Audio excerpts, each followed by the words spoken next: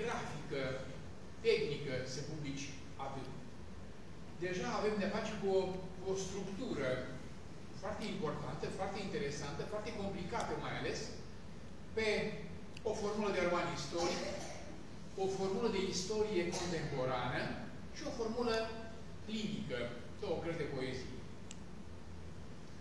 Uh, aceste elemente, aparent nu comunică între ele, de fapt, ele sunt aceeași magmă, aceeași fire, dar uh, despărțite uh, de, de convențiile autorului în cele trei structuri pe care le-am le, -am, amintit. Ceva le leagă. Ceva care um, formează o unitate um, care se împarte apoi în vari forme în cele trei, uh, în cele trei tipuri. Marian, uh, Marian Găureanu este un om al Pământului. Rareori un scriitor are atât de evidente și atât de răspicate uh, legături cu Pământul, cu Pământul natal, cu Pământul copilăriei, cu Pământul moșilor și strămoșilor săi.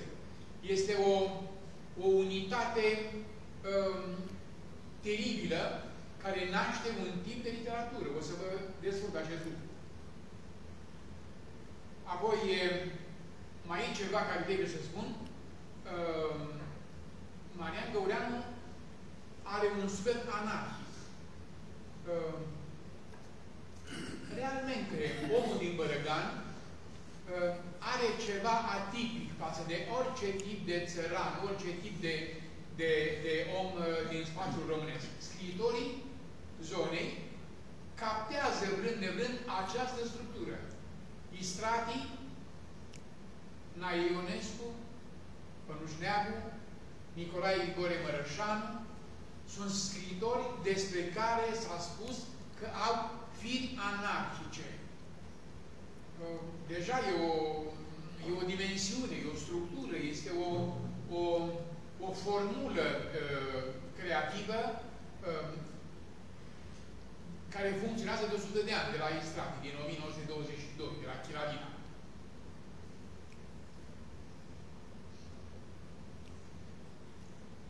ultima afirmație despre poezia lui Nicolae Grigore Mărășanu, făcută de Mircea Mutu la Cluj, e aceeași. Opera unui scriitor anarhic. Deci și Mărășanu intră în această formulă de scriitori anarhici. Analizând și coroborând lucrurile, Marian Găureanu face parte din această familie de, de, de inși structural anarhici. Vă rog să remarcați, atât în elemente, cât și în rădăcini, tema revoltei, tema contestării,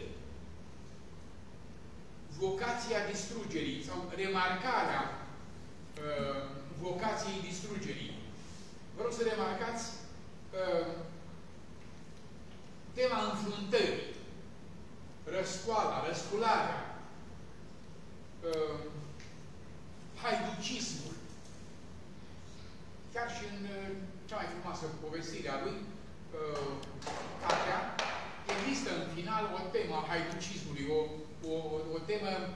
40 de pagini evocate aproape din diversa dovenia. Anarhism înseamnă fără stăpân. Și dacă ne gândim cu atenție, Bărăganul, cu istoria lui atât cât a fost, uh, e un spațiu al, uh, al lipsei stăpânului. Uh, a vorbit ca pe Bărăgan e o sintagmă care înseamnă a vorbi la întâmplare. Dar nu tot Bărăgan.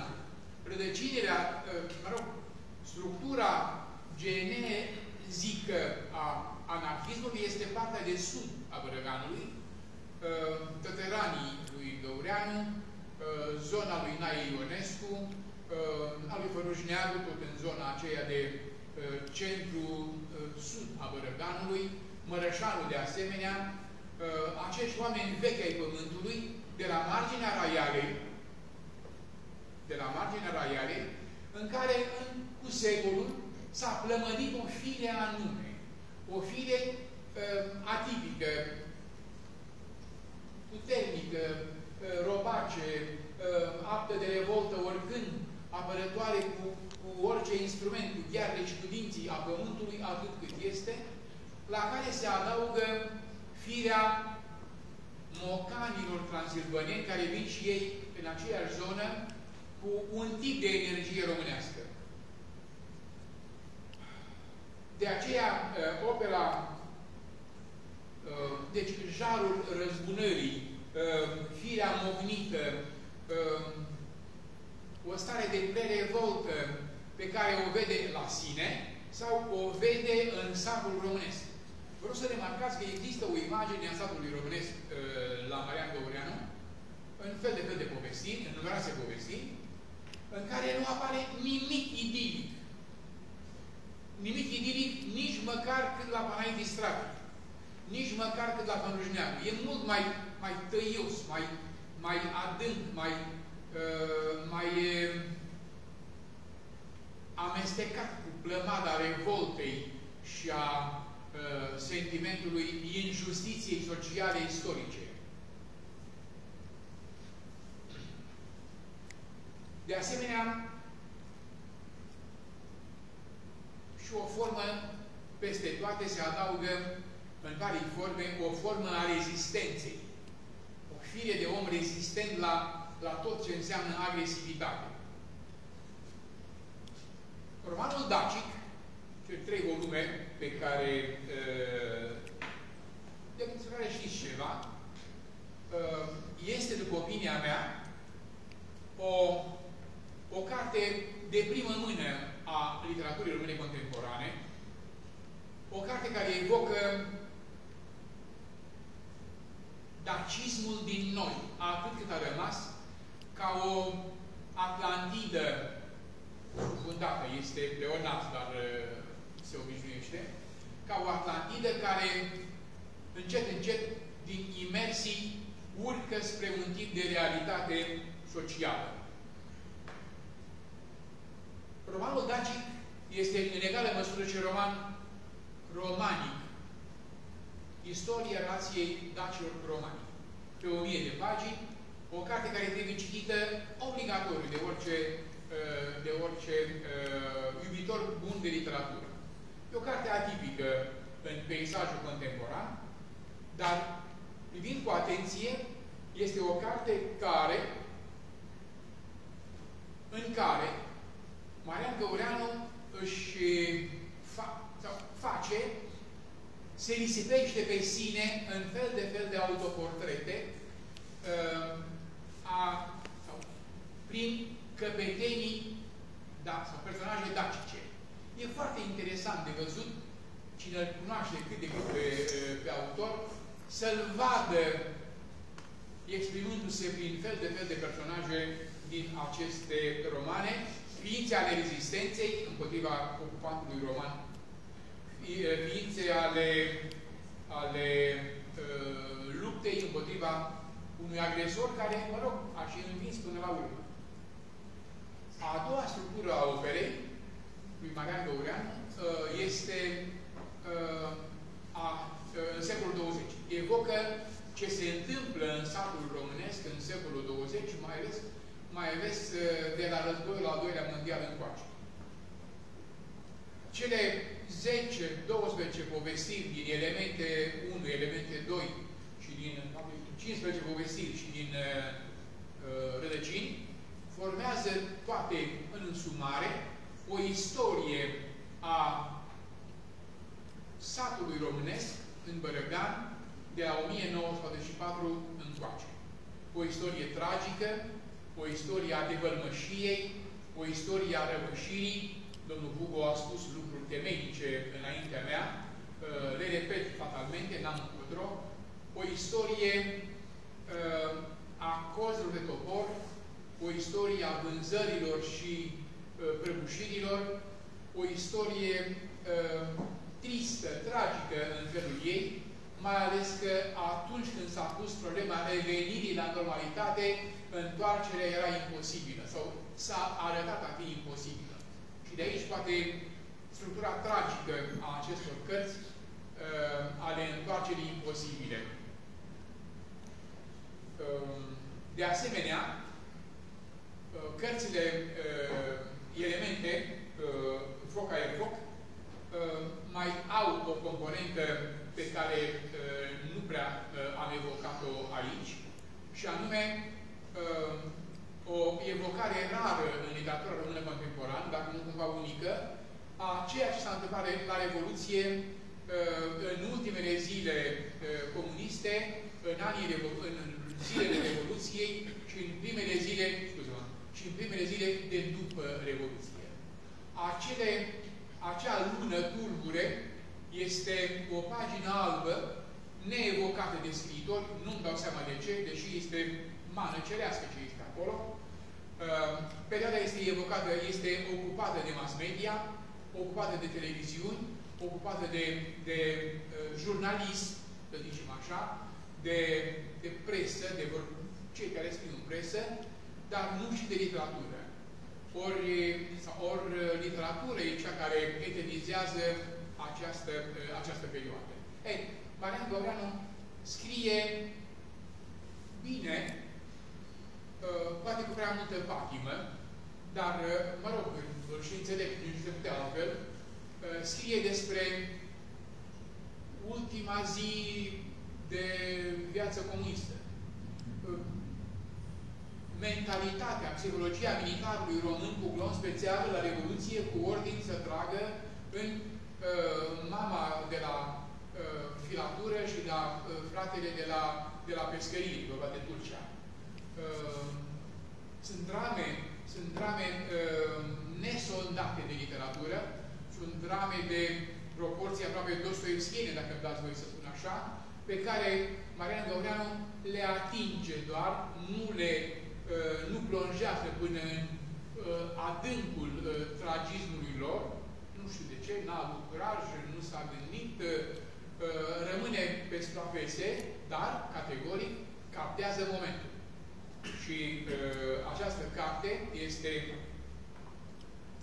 cu toată revolta din ea, cu toată mânirea, cu toată știu eu, îndârjirea care este scrisă și o mărturie tragică despre acele, acele zile ale, ale uh, Revoluției. Uh, ca scriitor, Marian Goreanu este foarte productiv. Îi place să scrie. Scrie cu o plăcere extraordinară. Uh, e productiv. Vorbește cu el un subiect uh, la o cafea, trece o zi trec două și vine cu 25 de pagini.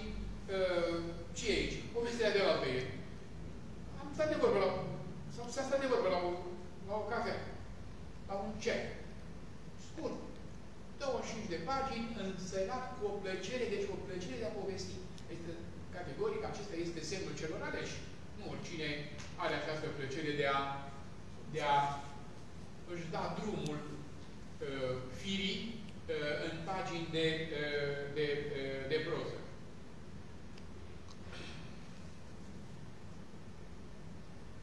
Satul românesc este văzut aproape, aș spune, mai profund ca la Fănușneagu, mai profund chiar ca la Marin Preda în Moroveți, deși uh, s-a spus până acum că Moroveți este romanul care evocă cel mai bine satul românesc în primii 20 de ani de, de după război. Uh, poate Ion Încrânjan să mai aibă astfel de pagini, la fel de aspre, la fel de dure, teribile în uh, litera și scritul lor, însă mai puțin realizate ca artă literară. Ori, la urma urmei, uh, arta literară contează și chiar peste adevărul, adevărul istoric.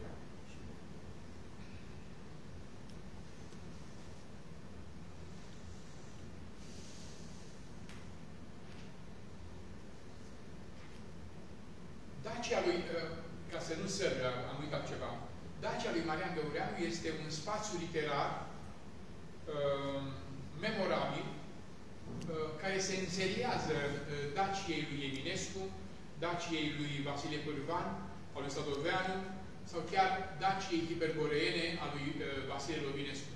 Deci vă recomand cartea aceasta pentru care pentru mine este, este uh, realmente memorabilă.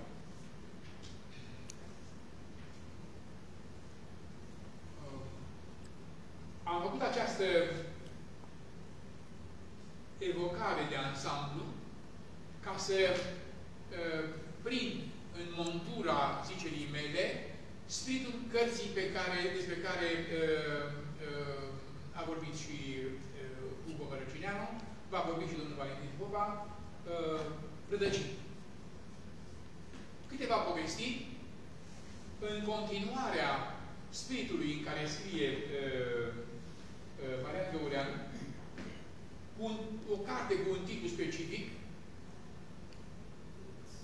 are câteva povestiri, deci, toate din lumea uh, țărănească.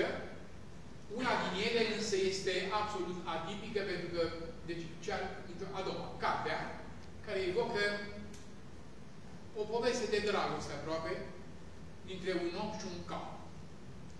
Uh, tema este teribilă. Uh, Tolstoi, uh, Cinghis Aitmatov, Adur Fără Galbenă uh, și altele, la noi, uh, Marin Preda, George Coșbuc și alții, mă rog, e o întreagă literatură rației omului cu cap. Ei, Marin, uh, Marian Găureanu prinde o, o poveste extraordinară uh, a întâlnirii cu un cal pe care l-a părăsit soldatul pe când la război. Calul are destinul lui, el destinul lui de oștean, și când se întoarce acasă demobilizat, dintr-o întâmplare astrală aproape, se întâlnește cu țintă, calul lui. Și vine acasă, intră fălos, ca un voievod aproape, în satul lui, călare pe calul pe care l-a îngrijit de mic, sau cum spune acolo, eu l-am fătat. O afirmație teribilă. Novela aceasta, a spus Hugo Mărăcineanu uh, mult și bine, uh, este extraordinară și prin adevărurile din tranșeele primului război mondial. Marian Găureanu este un om care scrie uh, în egală măsură cu un imaginar uh, bine strunit, hrănit cu documente. Pagina despre uh, condiția soldatului român în tranșeile primului război mondial la uh, Mărășești, Mărăști, Oitus, Cosmești, zona aceasta uh, din vara lui 1917, uh, sunt pagini hrănite cu documente. Nimic imaginar. Și sunt pagini de altă factură decât Camil Petrescu, altă factură decât Cezar Petrescu, Sadoveanu, Pălăpușneanu, uh, sau oricare, Zaharia Stancu, toți cei care au scris despre primul război mondial. E altceva. Condiția tragică a omului în tranșee uh, o captează în egală măsură, într-un fel, Camil Petrescu și într-alt fel uh, uh, Marian Găureanu. Pe aici suntem. Și ce da Petrescu. Deci, suntem în fața unei, unui scriitor care are simțul tragic al eroismului, al morții, al iubirii pentru pământ, al cuvântului pentru, al respectului pentru cuvântul regelui, a zis regele de pământ, murim și vom avea pământ. Dacă scap, am atât de hectar, pogoane, dacă nu scap, familia va avea pământ. Deci cuvântul pământ are niște rezonanțe fabuloase, teribile în uh, povestirea aceasta. De aceea, uh, uh, cartea este și o Biblie la piept care salvează viața uh, os, ostașului. Uh, sunt pagini unice de cronică, de baladă, de legendă, de, de întâlnirea omului cu, cu propriul destin al omului. Prima povestire, icoana, este uh, istoria unui ticăloșii dintr-un sat din Bărăgan, un, un învățător dă ordine să arunce icoanele în privata școlii și după destui ani se redescoperă uh, se pare că e un caz real, uh, icoana păstrată nepătată, aruncată în paradoxul mizeriei, ea rămâne pură după un sfert de veac. E o lecție și, o, și, o, și un târg aici extraordinar. Povestirea aceasta mai este frumoasă și pentru, sau mai este interesantă și pentru ritualul vieții în satul uh, din anii comuniști.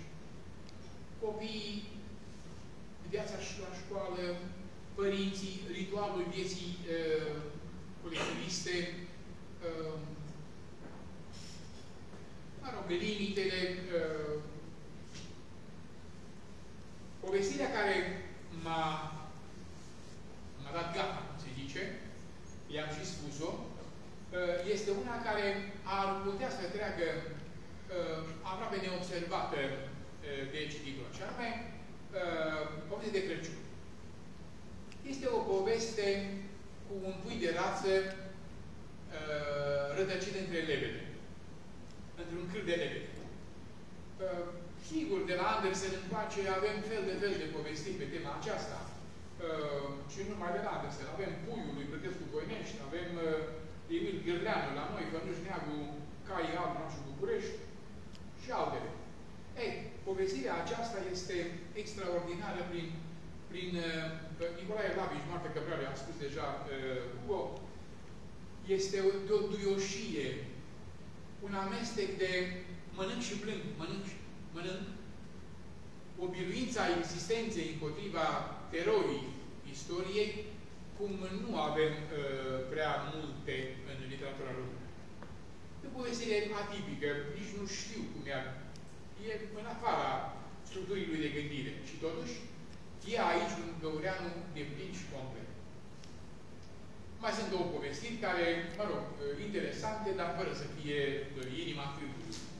Aceste prime trei sunt însă uh, texte excepționale pentru care merită o seară de lectură sau o noapte de insomnie și de zăbovire. Marian Gaulean primește felicitările mele pentru întreaga operă și pentru rădăcini, uh, cu speranța unor lecturi uh, mai complicate, funcție și de ce mi se va oferi. Uh, vă mulțumesc foarte